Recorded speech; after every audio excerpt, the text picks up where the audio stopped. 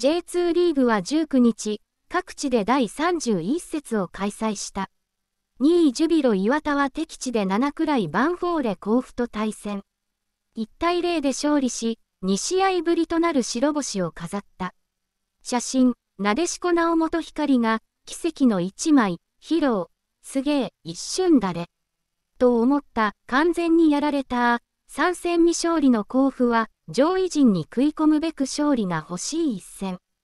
前節に黒星を喫した岩田は、1年での J1 復帰に向けて負けられない戦いとなった。試合は立ち上がりから岩田が攻勢に転じるも、ゴールが遠い。MF 金子翔太や DF リカルド・グラッサのシュートはことごとく GK 山内光大に阻まれた。それでも岩田は前半43分、右サイドでコーナーキックを得ると、MF 遠藤康人が右足で蹴り込んだボールを FW ジャーメイン亮がヘディングシュート。叩き込むように決めて先制点を手にした。試合は岩田の1点リードで前半を折り返すと、反撃に出たい甲府はハーフタイムに選手交代。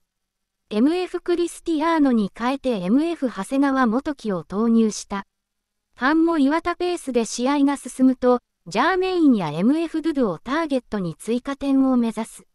遠藤も遠目から狙って相手ゴールを脅かした。